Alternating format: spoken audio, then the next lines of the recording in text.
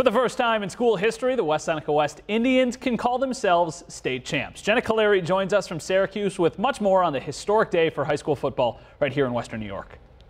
Matt, we witnessed history here in Syracuse as West Seneca West not just played in their first ever Class A state championship game, but capped their season off with a perfect record and the program's first ever state championship. The Indians took the lead in the second quarter after Brian Ball ran this one in for the score, and you have to credit the Indians defense who came up big in the first half of this one as they went after Huskers quarterback Tommy Weaver multiple times to help the Indians take a one point lead at the half. Now, the second half was another slow half, but it was this touchdown by quarterback Matt Myers on the run as the Indians took the lead for good to seal their first ever state title, a 14 6 win over Yorktown to make school history. I mean, it was just it was just an unreal moment. Um, I've dreamt about this my whole life. I've always wanted to be a state championship and go out with my senior year, my last game of high school.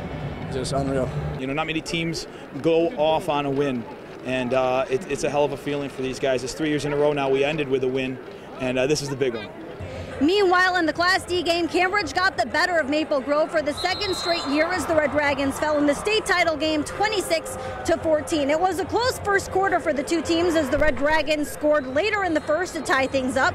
But this turnover late in the game by Tommy English sealed the win for the Indians as they took over and grabbed a few first downs. Now, despite coming up short yet again, Maple Grove head coach Kurt Fisher says he couldn't be prouder of his team making it here two years in a row. But if Maple Grove wants to play for a state title next year, one big thing needs to happen. Our problem is numbers. Numbers are really scarce next year. We're panicking right now.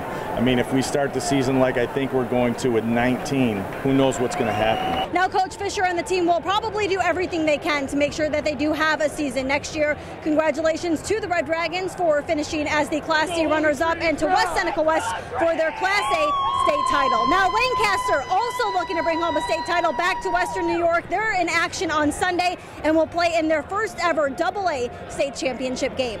From the Carrier Dome in Syracuse, Jenna Caleri, 7 Eyewitness Sports.